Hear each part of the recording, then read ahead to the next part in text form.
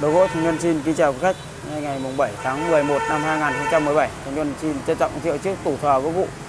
kích thước 1m53 rộng 69 phân, cao 1m27 được làm bằng chất liệu gỗ vụ 100% đã được Thành Nhân tôi hoàn thiện xong phần bánh vili để chuẩn bị bàn giao cho khách hàng ở An Đồng An Dương, thành phố Hải Phòng. Trước khi hoàn thiện bàn giao cho khách hàng, tôi sẽ quay lại một lượt phần chi tiết, phần vuốt bóng trên mình quý vị đã xem là chiếc tủ thờ gỗ vụ kích thước 1m53 rộng 69 cao 1m27 cánh cong gỗ vụ nó đang được hoàn thiện là bánh vili trần.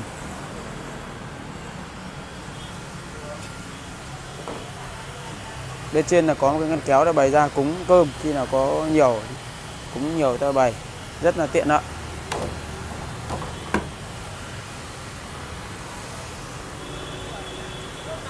quý quý khách hàng có nhu cầu muốn sở hữu tủ thờ đỉnh cao đẹp như này, liên hệ trực tiếp với thành viên qua số điện thoại 0972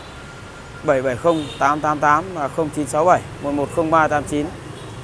bây giờ đang lúc ờ, 17 giờ 30 phút buổi chiều, ngày mùng 7 tháng 11 nên là thời tiết hơi tối. Chúng tôi đang cho hoàn thiện nốt cái ờ, công đoạn vết vuốt vali cuối cùng để bàn giao cho khách hàng ở An Dương, Hải Phòng.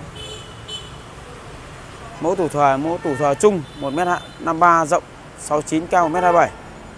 gỗ cụ ờ, ở view clip quý vị đã xem chúng tôi quay trực tiếp tại đầu gỗ Thành Luân cơ sở 2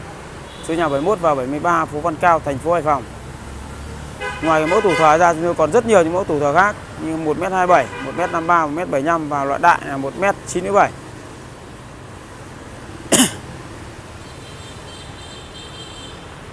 Mẫu tủ thờ này ở giữa là độc ba ông Tam đa Phúc Lộc Thọ, hai bên là đôi hạc và xung quanh là bốn ô Long Ly Quy Phụng và ở giữa là cuốn thư chân quỳ, cánh cong. Là quý hàng có nhu cầu muốn sở hữu sản phẩm bàn thờ như thế này hãy liên hệ trực tiếp với thành viên chúng tôi qua số điện thoại là 0972 770 888 và 0967 110389